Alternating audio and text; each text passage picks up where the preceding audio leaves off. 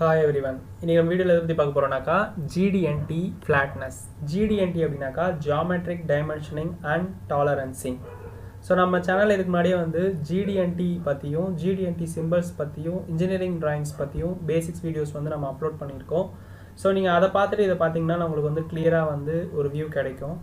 So flatness அப்படின்றது வந்து ஃப்ளாட்னஸ்னுடைய explanations பற்றியும் ஃப்ளாட்னஸ்னுடைய சிம்பிள் அதை எப்படி வந்து டினோட் பண்ணுவாங்க அப்படின்றத பற்றியும் இன்ஜினியரிங் ட்ராயிங்கில் ஃப்ளாட்னஸ் எப்படி மென்ஷன் பண்ணுவாங்க அப்படின்றத பற்றியும் ஒரு காம்பனண்ட்டுடைய ஃப்ளாட்னஸை எப்படி நம்ம வந்து கேஜிங் பண்ணி அதை மெஷர் பண்ணி கண்டுபிடிக்கிறது அப்படின்றத பற்றியும் தான் இன்றைக்கி நம்ம வீடியோவில் டீட்டெயிலாக பார்க்க போகிறோம் அதுக்கு முன்னாடி நீங்கள் இன்னும் நம்ம சேனலை சப்ஸ்கிரைப் பண்ணனா சப்ஸ்கிரைப் பண்ணிக்கோங்க. கூடவே பக்கத்தில் இருக்கிற பெல் பட்டனையும் கிளிக் பண்ணிக்கோங்க.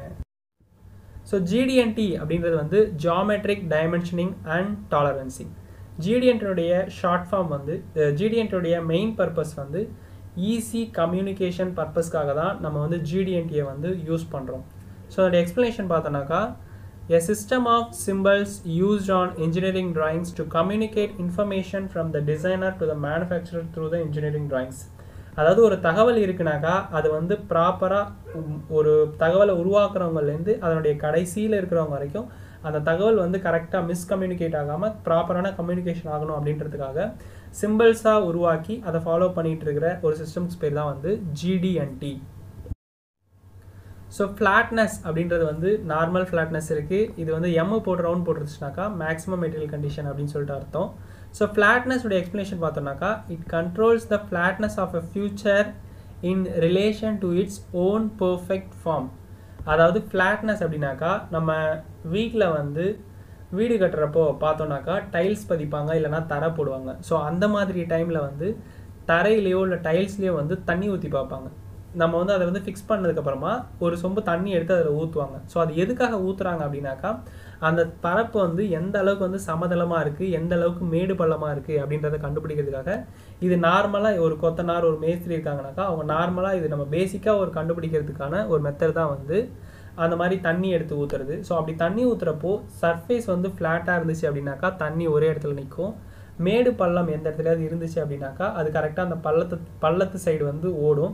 ஸோ அதை பொறுத்து அந்த சர்ஃபேஸ் வந்து ஃப்ளாட்டாக இருக்கா இல்லை வந்து மேடு பள்ளம் இருக்குதா அப்படின்றத வந்து ஈஸியாக வந்து கண்டுபிடிச்சி அதுக்கேற்ற மாதிரி அவங்க வந்து ஃப்ளாட்னஸை வந்து அதாவது தரையோ இல்லை டைல்ஸையோ வந்து அட்ஜஸ்ட் பண்ணி அதை ப்ராப்பரான ஃப்ளாட்டாக வந்து சர்ஃபேஸாக வந்து அதை வந்து உருவாக்குவாங்க. இதுக்கு பேர் தான் வந்து ஃப்ளாட்னஸ் ஃப்ளாட்னஸுடைய சிம்பிள் அப்படின்னு பார்த்தோன்னாக்கா இந்த மாதிரி தான் நமக்கு வந்து ஒரு ஷேப்பில் வந்து கொடுத்துருப்பாங்க. ஸோ ஒரு ரெக்டாங் ஒரு ஸ்கொயரோ இல்லை ரெக்டாங்கிளோ வந்து அது சாஞ்ச மாதிரி கொடுத்துருப்பாங்க. ஸோ இதுதான் வந்து ஃப்ளாட்னஸுடைய சிம்பிள் ஸோ மே எம் போட்டு ரவுண்ட் போட்டிருந்தனாக்கா மேக்ஸிமம் மெட்டீரியல் கண்டிஷனில் ஃப்ளாட்னஸ் இருக்கலாம் அப்படின்னு அர்த்தம். ஸோ இன்ஜினியரிங் டிராயிங் அப்படின்னு எடுத்துட்டோம்னாக்கா இதான் வந்து ஃபீச்சர் கண்ட்ரோல் ஃப்ரேம் இதாவது பாக்ஸ் மாதிரி போட்டு பாக்ஸ்குள்ளே வந்து டீட்டெயிலாம் கொடுத்துருப்பாங்க. இதுக்கு வந்து ஃபீச்சர் கண்ட்ரோல் ஃப்ரேம்னு சொல்லிட்டு பேர். ஸோ நமக்கு இந்த சர்ஃபேஸினுடைய ஃப்ளாட்னஸ் வந்து அவங்க வந்து மென்ஷன் பண்ணியிருக்காங்க அப்படின்னாக்கா இந்த மாதிரி ஆரோ மார்க் போட்டு ஃபீச்சர் கண்ட்ரோல் ஃப்ரேமில் ஃப்ளாட்னஸ் உடைய சிம்பிள் போட்டு அதனுடைய specification zero point zero three அப்படின்ற ரேஞ்சுக்குள்ளே இருக்கணும் அப்படின்றதுனால ஃப்ளாட்னஸ் சிம்பிள் போட்டு இந்த வேல்யூ வந்து கொடுத்துருக்காங்க. ஸோ இன்ஜினியரிங் டிராயிங் அப்படின்னாக்கா ஃப்ளாட்னஸ் வேல்யூ இந்த மாதிரி தான் வந்து ஸ்பெசிஃபிகேஷனில் கொடுத்துருப்பாங்க. ஸோ நெக்ஸ்ட் வந்து இதுக்கு ஃப்ளாட்னஸ் கண்டுபிடிக்கணும் அப்படின்னாக்கா அதுக்கு வந்து எந்த ஒரு ரிலேட்டிவ் டேட்டமும் தேவையில்ல. இப்போ ஒரு சர்ஃபேஸினுடைய ஃப்ளாட்னஸ் கண்டுபிடினா அந்த சர்ஃபேஸை மட்டும் வச்சு அதில் வந்து ப்ரோபிங் பண்ணி மேலே சர்ஃபேஸ் இப்போ இந்த சர்ஃபேஸினுடைய ஃப்ளாட்னஸ் கண்டுபிடிக்கணும் அப்படின்னாக்கா இந்த சர்ஃபேஸை மட்டும் எடுத்துக்கிட்டு நம்ம ப்ரோபிங் பாயிண்ட் வந்து ஒரு மூணு பாயிண்ட் நாலு பாயிண்ட் அதிகபட்சமாக ஒரு நாலு பாயிண்ட்டுக்கு மேலே வச்சு எடுத்தோம்னா நமக்கு ஒரு ப்ராப்பராக கிடைக்கும். ஸோ அதனால் வந்து ப்ரோபிங் பாயிண்ட் வந்து ஒரு மூணு பாயிண்ட் நாலு பாயிண்ட் எடுத்தனாலே நமக்கு வந்து ஒரு சர்ஃபேஸ் க்ரியேட் ஆகிடும் ஸோ அந்த பிளேனில் வந்து எந்த அளவுக்கு வந்து ஃப்ளாட்டாக இருக்குது அப்படின்றத வந்து அந்த பிளேனை வச்சே நம்ம வந்து கேல்குலேட் பண்ணிக்கலாம். ஸோ இதுக்கு ரிலேட்டிவ் டேட்டம் வந்து தேவையில்லை.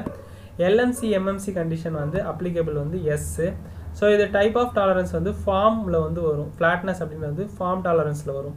ஸோ இதில் நமக்கு வந்து டாலரன்ஸ் ஜோன் கொடுத்துருக்கிறத பார்த்தோம்னாக்கா நமக்கு அந்த ஜீரோ பாயிண்ட் ஜீரோ த்ரீன்னு கொடுத்துருந்தது வந்து பாசிட்டிவ் அண்ட் நெகட்டிவ்க்குள்ள டிஸ்டன்ஸ் ஸோ இதில் ஒன்று வந்து அப்பர் லிமிட் கீழே இருக்கிறது வந்து லோயர் லிமிட் நம்ம மெஷர் பண்ணக்கூடிய ஃப்ளாட்னஸ் ரேஞ்ச் வந்து அப்பர் லிமிட்டுக்கும் லோவர் லிமிட்டுக்கும் டாலரன்ஸ் ஜோனுக்கு உள்ளே இருந்துச்சு அப்படின்னாக்கா நம்மளுடைய வேல்யூ வந்து அக்செப்டபுள் ரேஞ்சில் இருக்குது ஸோ அது வந்து ஓகே கண்டிஷனில் இருக்குது அப்படின்னு சொல்லிட்டு அர்த்தம். ஸோ நம்ம மெஷர் பண்ணக்கூடிய இந்த சர்ஃபேஸுடைய ஃப்ளாட்னஸ் வந்து ரெண்டு பேரல் பிளேனுக்கும் நடுவில் வந்து இருக்குது அக்செப்டபுள் ரேஞ்சில் இருக்குது அப்படின்றதால இது வந்து ஃப்ளாட்னஸ் வந்து ப்ராப்பராக இருக்குன்னு சொல்லிட்டு அர்த்தம். ஸோ கேஜிங் அப்படின்னு பார்த்தோம்னாக்கா இப்போ நம்ம மேலே இந்த சர்ஃபேஸினுடைய ஃப்ளாட்னஸ் கண்டுபிடிக்க போகிறோம் அப்படின்னாக்கா நம்ம ப்ரோபை யூஸ் பண்ணி அந்த சர்ஃபேஸில் வந்து நம்ம வந்து மேலேருந்து கீழே வந்து பாயிண்ட் வந்து எடுப்போம். ஸோ நம்ம எந்த பாயிண்ட் எவ்வளோ பாயிண்ட் எடுக்கிறோமோ அதனுடைய ஆங்கிள்க்கு ஏற்ற மாதிரி அந்த ப்ரொஃபைலுக்கு ஏற்ற மாதிரி நமக்கு வந்து ஒரு சர்ஃபேஸ் ஒரு சர்ஃபேஸ் வந்து பிளேன் வந்து க்ரியேட் ஆகிடும் ஸோ அப்படி க்ரியேட் ஆகிற அந்த பிளேனுக்கு வந்து நம்ம வந்து செலக்ட் பண்ணி நம்ம அதுக்கு வந்து ஃப்ளாட்னஸை செலக்ட் பண்ணி அதனுடைய வேல்யூ ஜீரோ பாயிண்ட் ஜீரோ த்ரீன்னு கொடுத்துருக்கிறத நம்ம வச்சோம் ஃபிக்ஸ் பண்ணோம் அப்படின்னாக்கா நமக்கு அந்த ப்ரொஃபைல் வந்து அந்த ஃபீச்சர் வந்து எவ்வளோ ஃப்ளாட்னஸ் அக்செப்டபிள் ரேஞ்சுக்குள்ளே இருக்குது அப்படின்றத காமிக்கும். சப்போஸ் அது அவுட் ஆஃப் ஸ்பெக் போச்சுனாக்கா நம்மளுடைய ஸ்பெசிஃபிகேஷன்லேருந்து எந்த அளவுக்கு அது வந்து பாசிட்டிவில் போயிருக்கு இல்லை நெகட்டிவில் போயிருக்கு அப்படின்றத நம்ம வந்து ஈஸியாக நமக்கு வந்து அது வந்து மென்ஷன் பண்ணி கொடுத்துரும். ஸோ இது மூலயமா நம்ம மெஷர் பண்ண ஃபீச்சர் வந்து அதோடைய ஃப்ளாட்னஸ் வந்து அக்செப்டபிள் இருக்கா? இல்லை ஃப்ளாட்னஸில் ஏதாவது ப்ராப்ளம் இருக்கான்றதை நம்ம கண்டுபிடிச்சி அதுக்கேற்ற மாதிரி கரெக்ஷன் பண்ணி நம்ம வந்து ப்ரொடியூஸ் பண்ணுற காம்பனனுடைய ஃப்ளாட்னஸை வந்து ப்ராப்பராக நம்ம வந்து அக்யூரேட்டாக கொடுக்க முடியும்.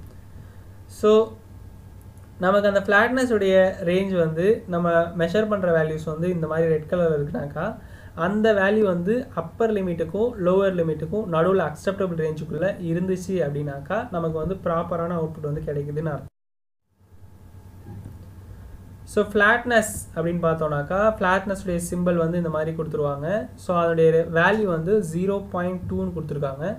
ஸோ நம்ம இதில் பார்க்க போனோம்னாக்கா ஃபார்ட்டி அதனுடைய வேல்யூ வந்து forty plus or minus point five அப்படின்னு கொடுத்துருக்காங்க. நமக்கு ஃப்ளாட்னஸ் வேல்யூ வந்து பாயிண்ட் டூக்குள்ளே இருக்கணும் அப்படின்றது தான் வந்து அவங்க கொடுத்துருக்கக்கூடிய ஸ்பெசிஃபிகேஷன் ஸோ இங்கே வந்து இதனுடைய வேல்யூ வந்து forty plus or minus point ஒன்று கொடுத்துருக்காங்க. பட் இங்கே வந்து வேல்யூ வந்து ஃப்ளாட்னஸ் வேல்யூ வந்து பாயிண்ட் டூ அப்படின்றது தான் வந்து கொடுத்துருக்காங்க. இதில் டாலரன்ஸ் வந்து ஜீரோ பாயிண்ட் ஃபைவ் கொடுத்துருக்காங்க. இதில் வந்து பாயிண்ட் ஒன்று தான் கொடுத்துருக்காங்க. ஸோ இதனால் வந்து இதை வந்து டைட் திக்னஸ் டாலரன்ஸ் அப்படின்னு சொல்லி சொல்கிறாங்க ஸோ ஃப்ளாட்னஸ் அப்படின்றது நம்ம பார்த்த மாதிரியே தான் ஸோ இப்போ ஏதாவது கீழே கன்ஸ்ட்ரக்ஷன் ஒர்க்கோ இல்லை வேறு ஏதாவது பேஸ்மெண்ட் போடுற இடத்துலையோ வந்து அவங்க வந்து ப்ராப்பராக அது வந்து ஃப்ளாட்டாக இருக்குதா அப்படின்றத பார்க்கறதுக்காக செக் பண்ணி தான் வந்து அதனுடைய ஃப்ளாட்னஸை வந்து கண்டுபிடிச்சி அதுக்கேற்ற மாதிரி அப்ளிகேஷனை வந்து எக்ஸிக்யூட் பண்ணுவாங்க. ஸோ மேலே மாடியில் வந்து டைல்ஸ் பதிக்கும் போதோ இல்லை மே வீட்டில் தரையில் வந்து ஏதாவது டைல்ஸ் பதிக்கும் போதோ தர போடும் போதோ அது ஃப்ளாட்டாக இருக்கா அப்படின்றத வந்து நம்ம இந்த மாதிரி பாதரச மட்டம் பாதரச மாணி வச்சு அதை வந்து செக் பண்ணி அதோடைய ஃப்ளாட்னஸை வந்து கண்டுபிடிச்சி அதுக்கேற்ற மாதிரி அட்ஜஸ்ட் பண்ணி தான் வந்து ஃப்ளாட்டான சர்ஃபேஸை வந்து உருவாக்குவாங்க. ஸோ இதுதான் வந்து ஃப்ளாட்னஸ் ஸோ பேசிக்காக வந்து நம்ம வந்து ஒரு டயல் கேஜை வச்சு கூட நம்ம அதோடைய ஃப்ளாட்னஸை வந்து ஈஸியாக வந்து கண்டுபிடிக்கலாம்.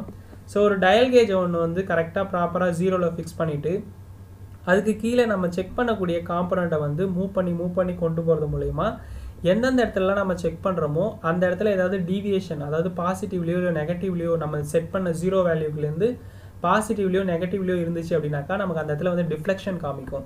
ஸோ அது எந்த அளவுக்கு வந்து நம்ம செட் பண்ண ஜீரோலேருந்து வேரி ஆகுதோ அதை பொறுத்து அந்தந்த இடத்துலலாம் எவ்வளோ இருக்குன்றதை நம்ம பர்டிகுலராக அந்த இடத்துல வந்து ஸ்பெசிஃபை பண்ணி மார்க் பண்ணி அந்த இடத்துல கரெக்ஷன் பண்ணி ரீஒர்க் பண்ணுறது மூலயமா நம்மளுடைய ஃப்ளாட்னஸை வந்து கரெக்டாக அச்சீவ் பண்ண முடியும்.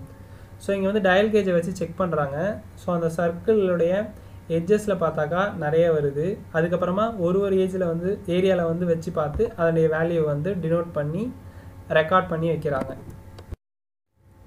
ஸோ ஜிடிஎன்டினுடைய பெனிஃபிட்ஸ்னு பார்த்தோன்னாக்கா standardized design language clear precise and consist communication between customer supplier and production team method for calculating the worst case mating limit repeatable production and inspection process assembly is assured from qualified production part அதாவது நம்ம டிசைனில் கொடுக்கக்கூடிய தகவல் வந்து production வரைக்கும் போய் அவங்க எந்த ஒரு ப்ராப்பரான எந்த ஒரு ப்ராப்ளமும் இல்லாமல் ப்ராப்பரான ப்ராடக்டை வந்து ப்ராப்பர் ஸ்பெசிஃபிகேஷனில் ப்ரொடியூஸ் பண்ணணும் அப்படின்றதுக்காக சிம்பாலிக்காக சிம்பிள்ஸை வந்து உருவாக்கி அது மூலயமா கம்யூனிகேஷனை ப்ராப்பராக பாஸ் பண்ணி அவங்க ஃபாலோ பண்ண வைக்கிறதுக்காக யூஸ் பண்ணக்கூடிய மெத்தட் தான் வந்து ஜிடிஎன்டி அதாவது geometric dimensioning and tolerancing symbols so இந்த சிம்பிள்ஸ் யூஸ் பண்ணுறது மூலயமா நம்ம வந்து ஒரு இன்ஃபர்மேஷனை வந்து பார்த்தோன்னே புரிஞ்சுக்கிறதுக்கும் ஈஸி அண்டர்ஸ்டாண்டிங்கும் அடுத்தவங்களுக்கு வந்து கம்யூனிகேட் பண்ணுறதுக்கும் மிஸ்கம்யூனிகேட் ஆகாமல் இருக்கிறதுக்கும் ஒரு பெஸ்ட்டாக இருக்கிறதால தான்